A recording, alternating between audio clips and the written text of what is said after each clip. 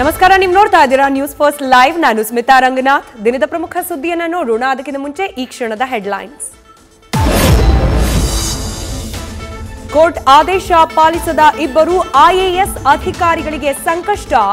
Randeep D, ನಿವೃತ್ತ IAS Anil Kumar ವಿರುದ್ಧ arrest warrant ಜಾರಿ. ಎಂಬತ್ತಾರನೇ ಸಿಸಿಎಚ್ ಕಮರ್ಷಿಯಲ್ ಕೋರ್ಟ್ ಆದೇಶ.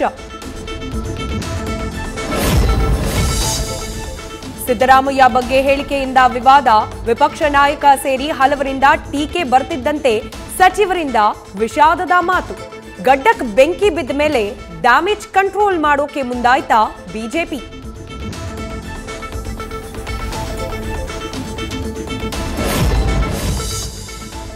ಸಿದ್ದರಾಮಯ್ಯ ನಮ್ಮ ರಾಜಕೀಯ ವಿರೋಧಿಯಷ್ಟೇ ಶತ್ರುವಲ್ಲ.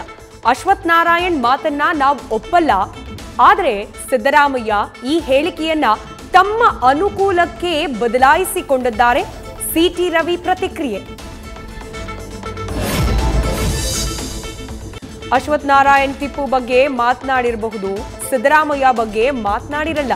ಆ ರೀತಿ ಮಾತನಾಡಿದ್ರೆ ನಾನು ಕೂಡ ಖಂಡಿಸ್ತೀನಿ. ವಿಪಕ್ಷ ನಾಯಕರ ಬಗ್ಗೆ ನಮಗೆ ಗೌರವವಿದೆ.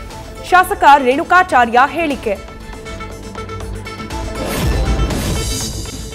ವಿಜಯನಗರದ ಕೊಟ್ಟೂರು ಬಸವೇಶ್ವರ ಮಹಾರಥೋತ್ಸವಕ್ಕೆ ಕ್ಷಣಗಣನೆ, ಪಾದಯಾತ್ರೆ ಮೂಲಕ ಜಾತ್ರೆಗೆ ಬರ್ತಿರೋ ಭಕ್ತಸಾಗರ.